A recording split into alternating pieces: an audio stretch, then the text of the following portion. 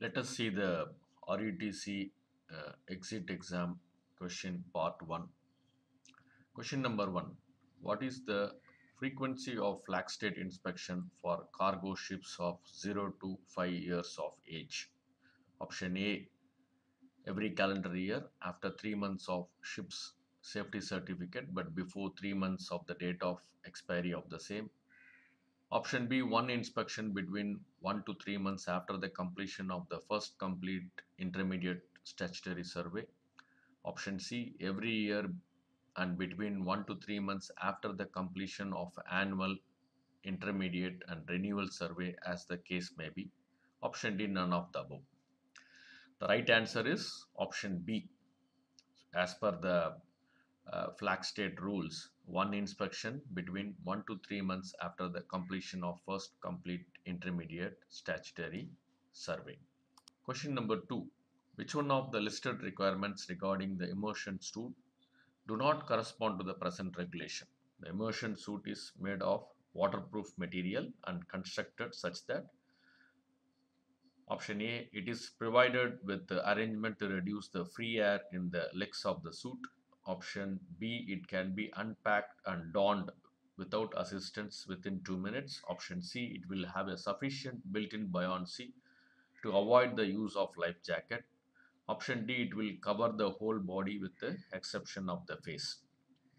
The right answer is option C. It will have the sufficient built-in buoyancy to avoid the use of life jacket. The other three answers are the requirement as per the SOLAS. So, which is not correspond to the regulation is option C.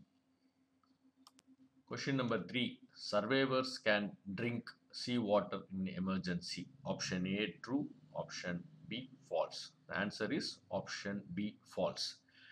As uh, drinking seawater uh, will increase the uh, dehydration, induce vomiting so it is not advised to drink seawater. Question number 4. How many codes are there in oil record book? Option A 5 codes, option B 7 codes, option C 9 codes, option D 11 codes.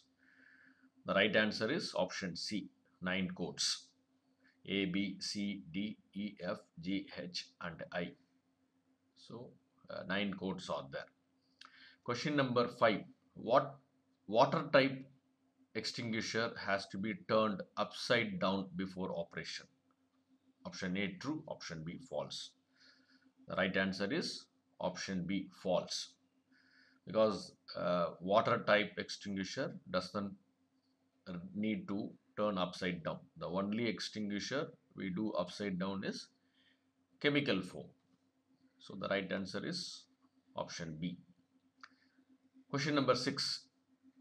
Which is not the detainable deficiency under SOLAS as per uh, port state control?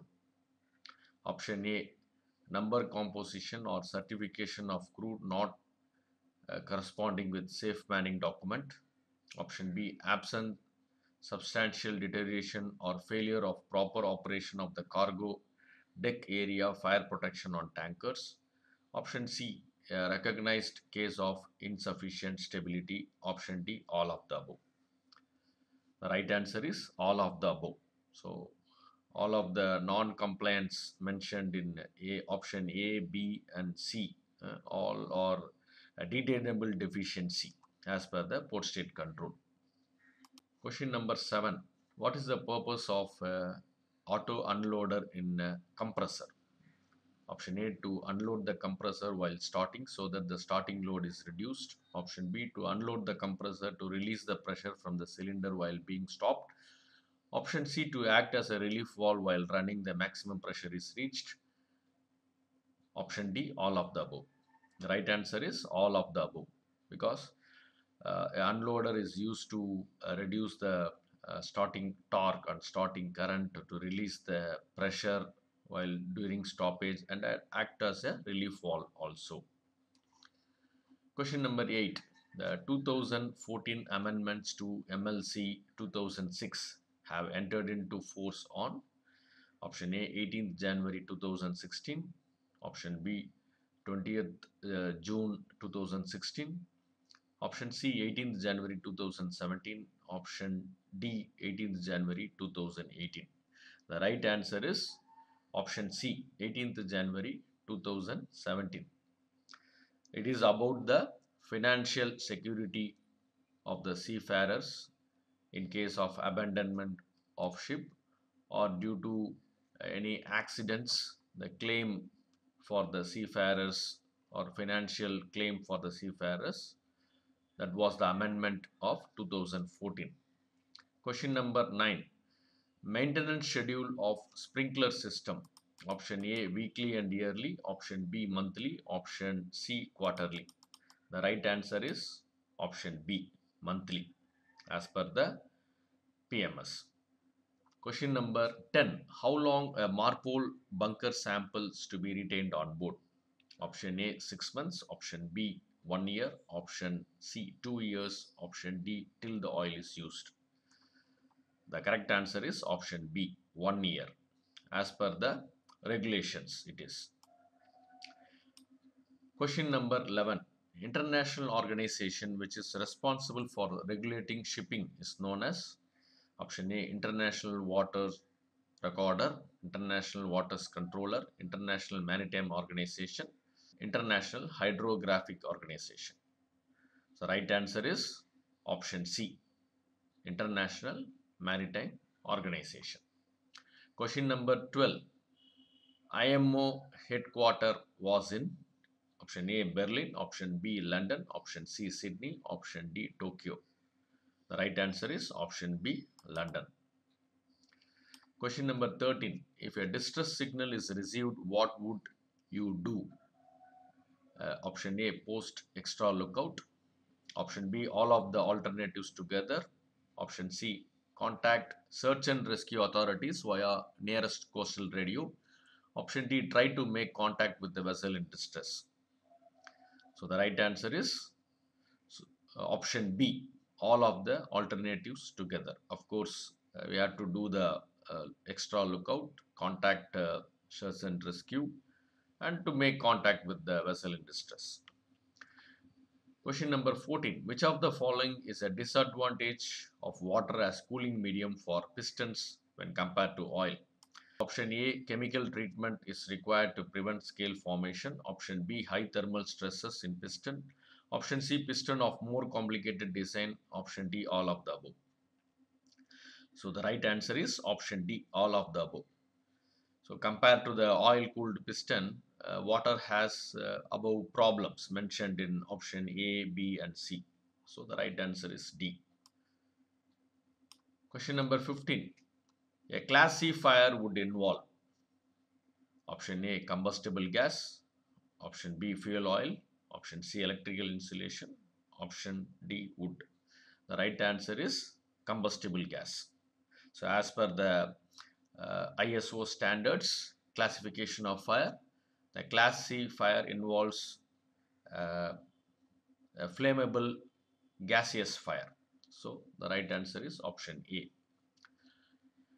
Question number 16. What is the minimum capacity of bunker sample bottle to be used as per the MARPOL regulation? Option A 200, option B 400, option C 600, option D 800.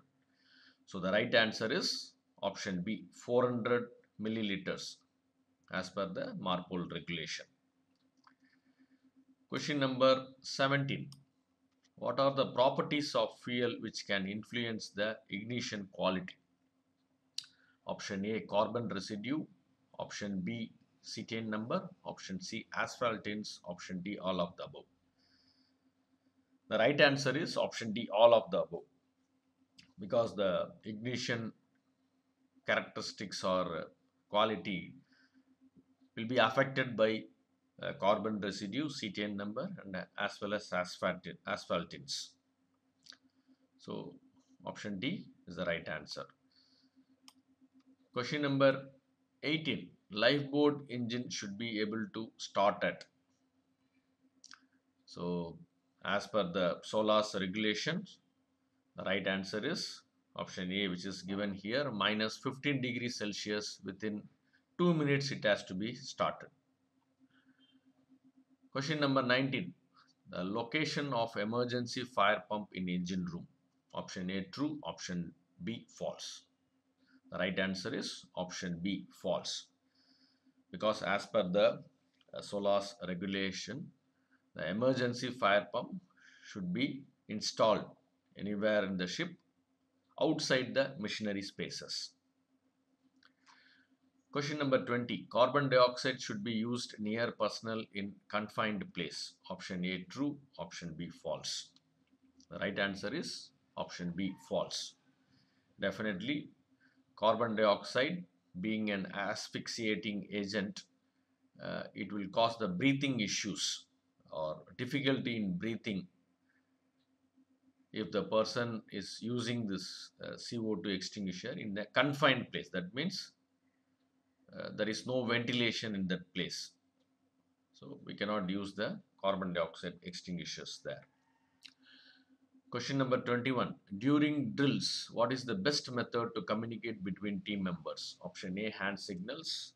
Option B, talk in person. Option C, communication is not necessary. Option D, use walkie-talkie. The right answer is use walkie-talkie.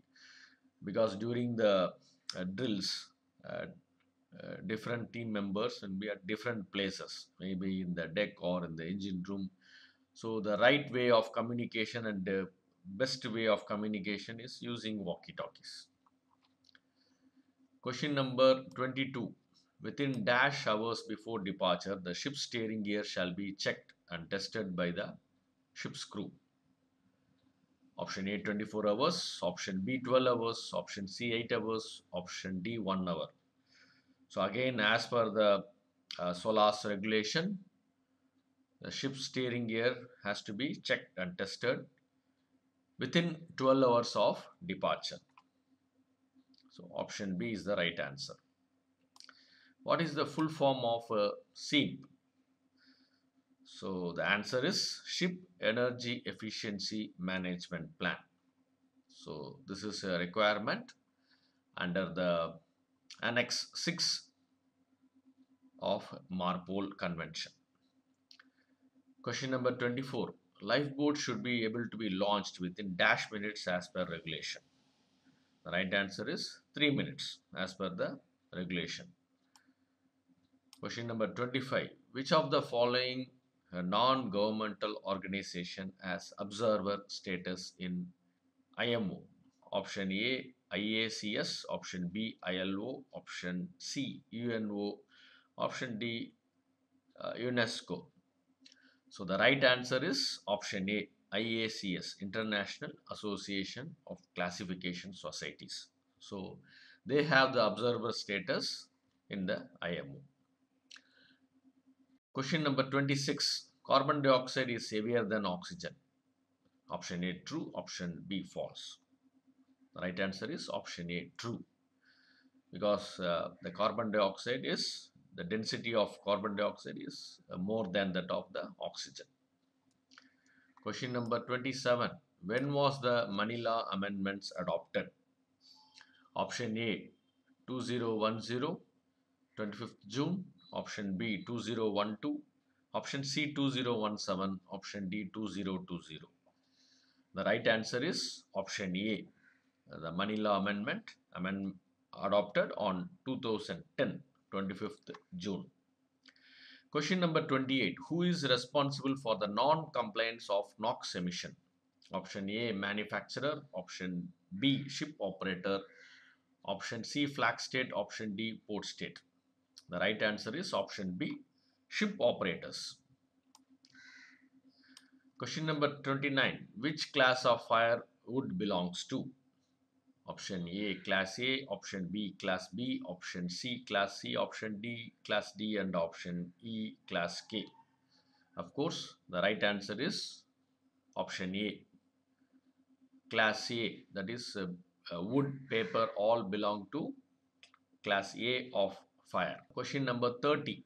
Which MARPOL amendment will come into force on 1st January 2021? option A annex 1 option B annex 2 option C annex 3 option D annex 4 the right answer is annex 2 So this is uh, uh, about the regulation 13 control of discharges of noxious liquid substances to have a pre-wash that is for the chemical tankers